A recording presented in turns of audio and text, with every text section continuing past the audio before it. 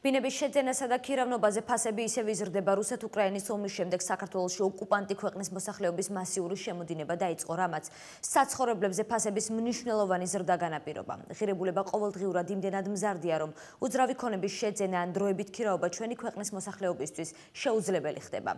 რას პროგნოზირებენ ეკონომისტები? სალომე ოსტალიშვილი კი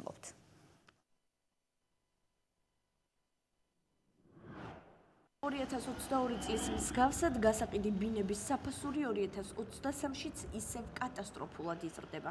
ღირებულების მატება განსაკუთრებით თვალშისაცემი რუსეთ-უკრაინის ომის დაწყების შემდეგ გახდა, როცა ოკუპანტი ქვეყნის მოქალაქეებმა საქართველოში მასობრივი ჩამოსახლება დაიწყეს.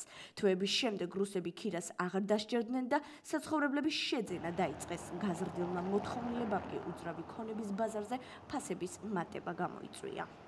ბინები გაძვირდება შესაბამისად ჩვენს მოხალხეებს უფრო მეტად გაუძვირდებათ ფარდობითად ვიდრე მათი შემოსავლები იზრდება და ეს შედარებით ძიმე ტვირთი იქნება მოგეხსენებათ რომ ხირაც გაძვირებულია შესაბამისად და ამიტომ ეს ძიმედი მოქმედებს სადაც ფასები დღესდღეობით არის დაბალი იგივე ფასთა გამოთანაბრების პრინციპით იქ უფრო მეტად გაიზრდება ლოგიკურია მათ შორის მას მასზე ზეგავლენას ესეც მოახდენს ეს ფაქტორიც.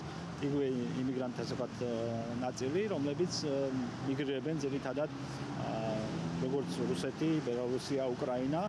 ბინებზე ფასების მატება რომ რუსების მასობრივ ჩამოსახლებას უკავშირდება ამას TBC კაპიტალის მკვლევარი წადასტურებს ირინა კვახაძის პროგნოზით რამდენიმე თვეში უძრავი ქონების შეძენა მოქალაქეებს 20%-იანი ხოლო ქირავნობა 30%-იანი ნამატით შეეძლებათ ჩვენი მოლოდინით 2023 წელს ფასების ზრდა გაგრძელდება, გაგრძელდება როგორც გასაყიდი ფასის, ისე გაქირავების ფასის ზრდა.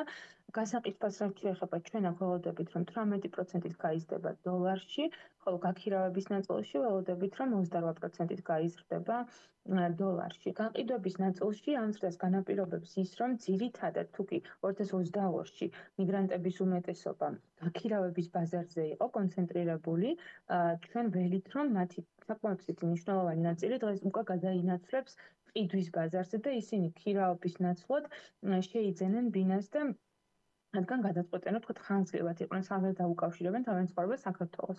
კიდევ რამდენიმე გარემოებაზე საუბრობს მარდი ჰოლდინგის აღმასრულებელი მენეჯერი ნათია სირაბიძის თქმით, აჭარაში ფასების ზრდა სეზონის მოახლოვებამ, ასევე სამშენებლო მასალებისა და პროექტების გაძვირებამაც განაპირობა.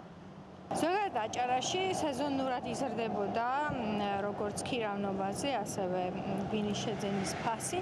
ამ შემთხვევაშიც ალბათ სეზონისთვის ცოტათი მატება მოსალოდნელია, მაგრამ ჩემი პერსონალური აზრით უფრო დარეგულირდება ბაზარი. ანუ გარკვეულწილად გაიზარდა გასულ წელს, იმიტომ რომ მოთხოვნა გაიზარდა, ასევე კომპლექსურად გაზვირდა ძალიან ბევრი მიმართულებით. როგორც მასალები, ასევე პროექტები უკვე შეიზღუდა რაოდენობრივადაც და ამიტომაც მოიმატა ფასმა და ახლა ვფიქრობ, რომ უფრო დარეგულირდება ბაზარი, სტაბილური იქნება ფასები. ბინების გაძვირების მთავარ გარემოებად მშენებლობის ინდექსის ზრდას ასახელებს ეკონომისტი. ნოდარ სირბილაძის განმარტებით მომატებულია ხელფასების მაჩვენებელიც, რაც სამშენებლო სექტორში დასაქმებულთა რაოდენობის ზრდას გულისხმობს. მნიშვნელოვნად არის გაზრდილი ეგრეთ წოდებული ნედლეული მაგალითად არმატურა და ასე შემდეგ რომელიც შენებლობისთვის გამოიყენება და ამ ფასების ზრდის ფონზე უკვე მთლიანად უძრავ ქონებაზე იმატებს ფასები გარდა ამისა მომატებულია ხელფასების მაჩვენებელიც იზრდება საქართველოსში უშუალოდ სამშენებლო სექტორში დასაქმებული ადამიანების ხელფასების რაოდენობაც და ესეც რა საკურველია უკვე საბოლოო ჯამში მთლიანად უძრავ ქონების ფასებზეც შესაბამისად აისახება საბოლოოდ დარგის სპეციალისტები დამაიმედებელს ვერაფერს გვეუბნებიან. ისინი ვარაუდობენ რომ უძრავი ქონების ბაზარზე არსებული მდგომარეობა კიდევ უფრო გაუარესდება. ექსპერტები შექმნილ ვითარებაზე სრულ პასუხისმგებლობას სახელმწიფოს აკისრებენ.